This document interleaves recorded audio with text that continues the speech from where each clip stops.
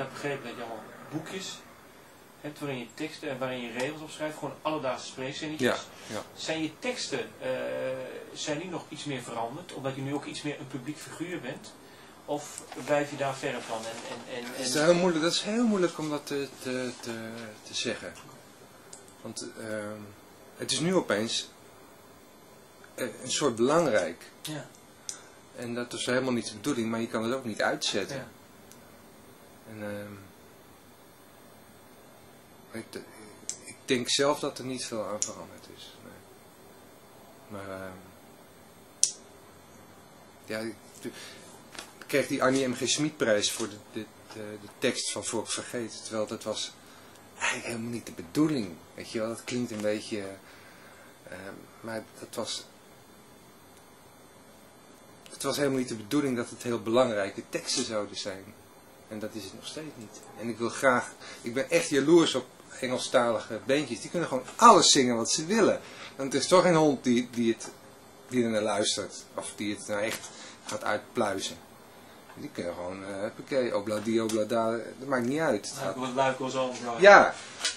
En eh, op een of andere manier, als je het Nederlands zingt, eh, heb je die vrijheid niet. Want dan wordt elke komma wordt, wordt, uitgemeten.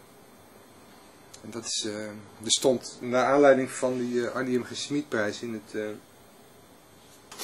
NRC, stond dan een, eh, recensie van een van de theater eh, recensent of zo. Die vond, het, eh, vond die tekst maar, eh, ja, vond hij maar helemaal niks en zo. En, eh, ging hij die tekst, die dus eigenlijk samen met de muziek is geboren, dit zijn dus twee eigen, het is gewoon, die horen bij elkaar. Ja, ja. ik bedoel, het, eh, soms is een woord verdwenen omdat er een, een toon moest en soms is er een toon verdwenen omdat er een woord in moest. Dus je kan niet die tekst los van het, maar goed, heeft hij wel gedaan, losgesneden en dan eh, op de tafel gelegd, uit elkaar geplozen, nou dat is helemaal niks. En ja, daar kan je niet tegen, tegen verweren. Gewoon, eh, als iemand het op die manier gaat uh, symboolblind gaat analyseren. Ja, En dat is wel wat er gebeurt als het te belangrijk wordt.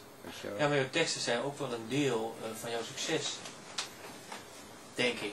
Dus Ja, ook- ja, het is, ja, ja, het, ja, het, is, het is ook niet zo. Het hoort erbij, ja. ja. Maar ik neem aan, joh, dat jij op een gegeven moment ook je teksten toch wel met eh, toch wel enige zorg aan besteedt. Ja, zeker. Heel veel zorg. Ja, ja. Maar, maar het, eh, het gaat ook om, om het ritme en om de klank. En om, ja. Je kan het niet los, eh, als poëzie los gaan presenteren. Dat is niet de bedoeling. En van Spinvis, de teksten blijven gewoon een beetje in dezelfde trant als het eerste album. Gewoon over Hé, wat is die trant? Gewoon, ja, gewone mensen, gewone eh, eh, beelden Ja, waar ja, mensen dus ja. bijvoorbeeld nu politieke manifesten of Nee, nee, nee, nee, nee. nee. filosofische verhandelingen. Nee, nee, nee, nee, nee. Gewoon,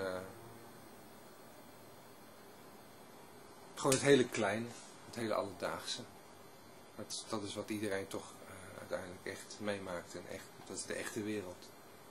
En dat, dat, is, eh, dat is misschien niet altijd even mooi of, of, eh, of romantisch of zo, weet je wel. En ik denk dat Xanna de Buissonnier het misschien niet zou zingen, maar dat is wel waar ik mijn voedsel vandaan haal. Ja.